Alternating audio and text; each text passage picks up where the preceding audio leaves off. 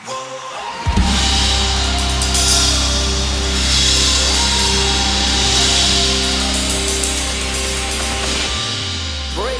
off every chain and the fear that held me. I refuse to agree with the lies they told me. I take up my.